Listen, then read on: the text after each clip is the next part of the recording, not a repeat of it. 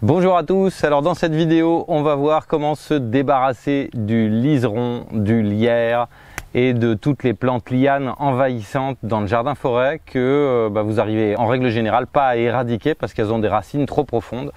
Et donc on va voir une méthode écologique pour pouvoir se débarrasser de ces plantes. A tout de suite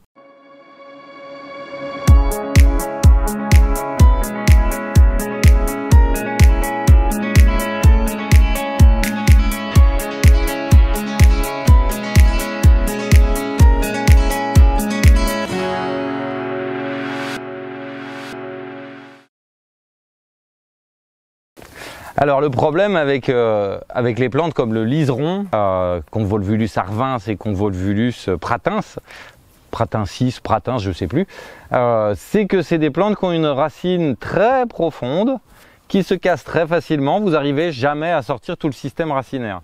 Et c'est très fréquent que ces plantes vont repousser malgré votre désherbage après la plantation bah, de, vos, euh, de vos vignes, de vos pommiers, de vos pruniers, de vos poiriers. Et donc euh, bah, arriver à creuser le sol pour retirer tout le système racinaire, ça impliquerait bah, de faire crever les plantes que vous avez mis. Donc en gros, une fois que vous voulez, vous voyez liseron pousser sur vos cassis, vos groseilles et vos, et vos arbres fruitiers, euh, ben c'est mort en fait. Il va falloir toute votre vie désherber, désherber, désherber. Ça prend un temps colossal. Et euh, ça fait des années que je cherche une méthode, euh, enfin en tout cas que je fais des tests, je fais des expérimentations pour faire crever cette plante. J'ai testé avec plusieurs trucs.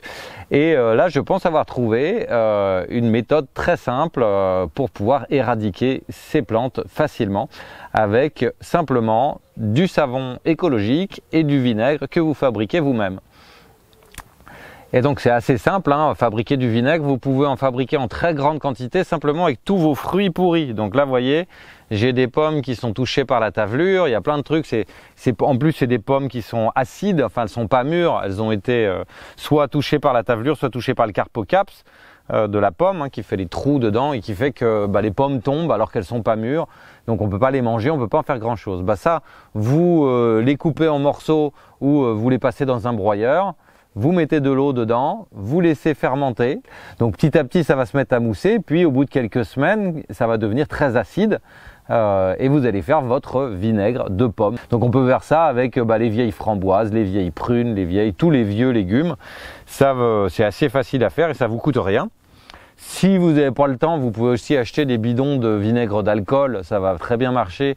Et au lieu de prendre du savon écologique, vous prenez du, liquide vaisselle, tout ce qu'il y a de plus industriel, ça marchera bien aussi.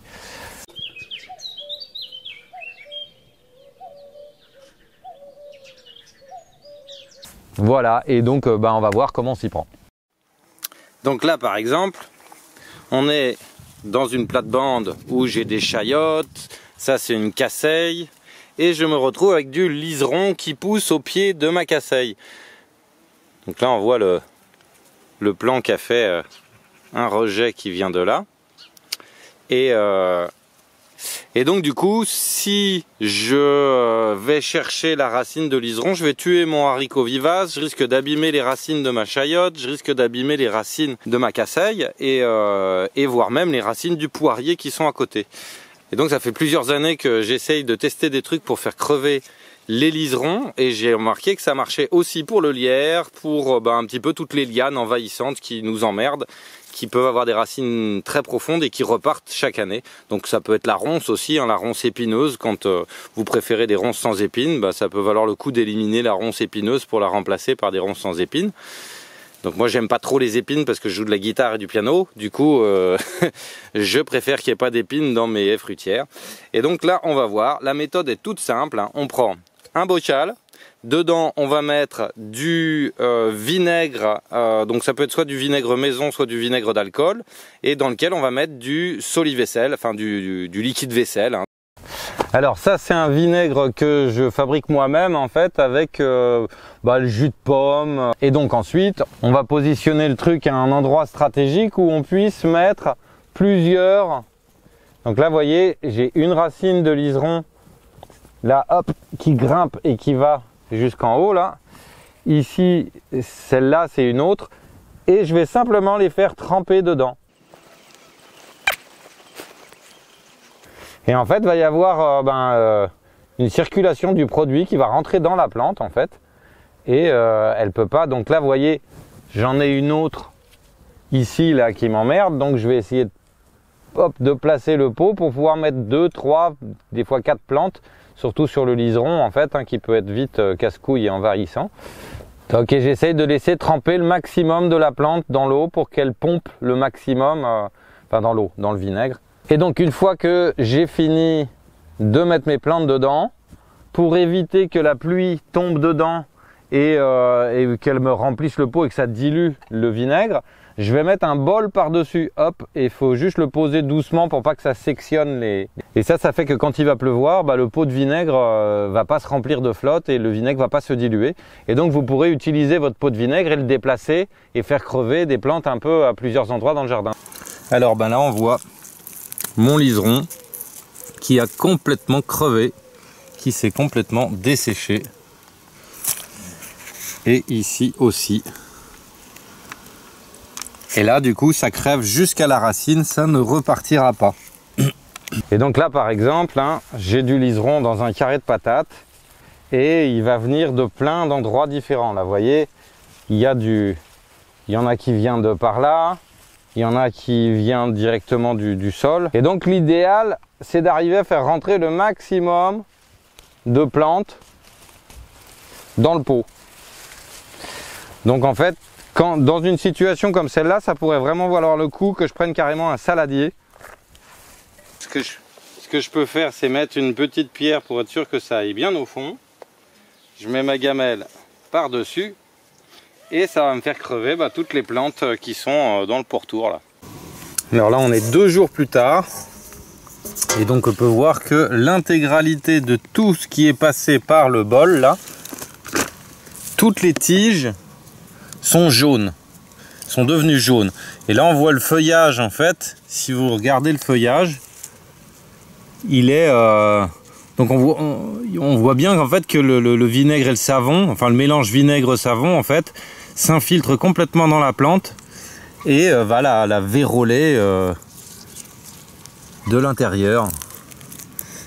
Et donc là, regardez, hein, le plan, il fait quasiment 1m50 et là, on s'aperçoit que ici, la tige est marron. Hein, si on prend euh, une tige qui n'a pas été passée dans le bol, hein, elle est rouge, verte, verte rouge et surtout euh, rigide, dure. Là, on sent qu'elle est molle, qu'elle commence à s'aplatir. Là, on voit bien le feuillage hein, qui, est, qui est vraiment en train de, crever jusqu'au bout. Et donc bah là en gros hein, ça, va, ça va aller faire crever le plant jusqu'à sa racine en fait, hein, un petit peu dans toutes les directions. On voit toutes les tiges sont devenues marron jaune. Et le feuillage euh, ben, est, vraiment en train de. On voit là au centre, c'est devenu jaune. Et là la feuille dans, dans une journée ou deux, euh, elle est grillée. Et tout le plant va être grillé jusqu'à sa racine. Alors ici on voit du lierre là qui, grimpe sur mon tas de compost. Et donc bah, si je le laisse euh, cavaler partout, euh, là j'ai un système racinaire en fait qui est parti en dessous le tas de compost. Donc à moins de démolir tout le tas de compost, euh, je ne peux pas me débarrasser du lierre. Sauf que c'est pas de chance pour lui. Donc là hop, j'ai coupé la branche. Là il y en a un autre plan, hop, je vais le faire venir par ici. Et vu que le lierre, là, vous voyez, il y a une... Là, ce serait difficile de mettre un couvercle. Donc, autre astuce, vous prenez un petit sac plastique, là. Ça, c'est un petit sac de quinoa bio. Vous le découpez de manière à pouvoir laisser sortir hop, les branches et vous mettez un élastique par-dessus. Donc l'élastique, vous le mettez au préalable autour du pot. Et voilà, donc euh, là, dans euh, quoi dans, dans 3 jours, 4 jours, le plan euh, sera grillé en fait jusqu'à la racine. Et donc bah, là, on voit d'autres rejets par exemple. Et donc ben, on verra les rejets qu'il y a autour. On va voir si tout le système racinaire a crevé. Normalement, les rejets vont crever aussi. Et, et ça veut dire que tout le système racinaire est mort en fait. Alors pour les plantes comme le lierre, là en fait, j'en ai partout qui poussent au-dessus de mon sureau. Euh, et là, celui-là, je vais le laisser. Le lierre, c'est vraiment une plante qui est intéressante. Euh, bon, on peut en faire du savon. Euh, elle est très intéressante pour les abeilles et pour tous les oiseaux en hiver. pour les abeilles en automne parce qu'elle donne un miel d'excellente qualité et un très bon pollen pour les abeilles. Euh, et, en même temps plein de petits fruits pour les oiseaux qui leur permettent de passer l'hiver. Donc c'est important de ne pas éradiquer tout le lierre de son jardin. Autant le liseron, j'aurais tendance à vous dire, si vous pouvez l'éradiquer partout dans votre jardin, il y a assez d'espace sauvage où il pousse tranquille. Euh, voilà, ça manquera pas aux abeilles d'avoir quelques fleurs euh, de liseron. Par contre, ça peut manquer aux abeilles d'avoir du lierre.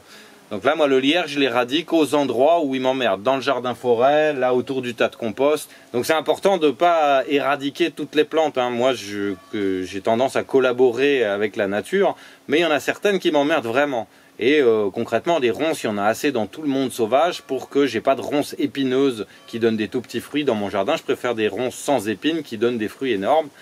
Euh, le lierre, eh ben, je peux en mettre dans les haies, dans des coins, mais j'ai pas envie que ce soit lui qui soit le chef dans mon jardin et que je passe mon temps à me battre contre lui euh, ben, en essayant de l'arracher parce que ça marche pas. Euh, je pense que vous avez, pour certains, vous avez déjà essayé d'essayer d'éradiquer le liseron, vous n'y arrivez pas, d'essayer d'éradiquer le lierre, il y a toujours un bout de racine qui repart. quoi. Et là, avec cette méthode, bah, ça vous permet vraiment de vous en débarrasser à l'endroit où vous avez envie qu'il ne pousse pas et de pouvoir mettre d'autres plantes qui vont être aussi mellifères pour les insectes, aussi nourrissantes pour les oiseaux, mais en plus très intéressantes pour vous. Voilà, bah, j'espère que ça vous a plu. N'hésitez pas à mettre un pouce, à mettre un like, à diffuser, parce qu'en fait, on est quand même des dizaines de milliers à être emmerdés par ces plantes. On ne fait pas tous du jardin forêt, mais cette technique, elle marche aussi pour vos massifs de fleurs. Hein. Donc voilà, n'hésitez pas à partager, à faire connaître notre chaîne YouTube. Euh. Merci d'avoir suivi cette vidéo jusqu'au bout. Vous pouvez télécharger notre e-book gratuitement sur le site de la forêt nourricière que vous retrouvez en description dans le lien de la vidéo. Vous pourrez aussi retrouver toutes ces infos dans le calendrier du jardin forêt où vous retrouverez mois par mois toutes les tâches, toutes les étapes pour pouvoir produire vos plantes et pour pouvoir entretenir votre jardin, savoir greffer, bouturer, savoir quand greffer quoi, quand bouturer, quand multiplier à chaque saison, quand récolter aussi les semences, récolter toutes les sortes de légumes, les fruitiers rares.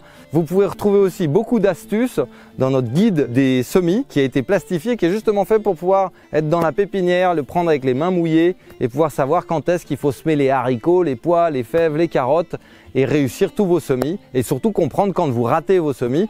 J'ai recensé un petit peu toutes les variétés les plus résistantes aux maladies, comment avoir les meilleures pollinisations pour que ça produise le plus de fruits possible, comment tailler, bouturer, multiplier, ça vous avez ça dans le livre euh, Multiplication des ressources végétales. Et bien sûr, vous pourrez trouver toutes ces informations dans notre formation en ligne, un an dans un jardin forêt, et dans la formation aussi, créer son jardin forêt productif.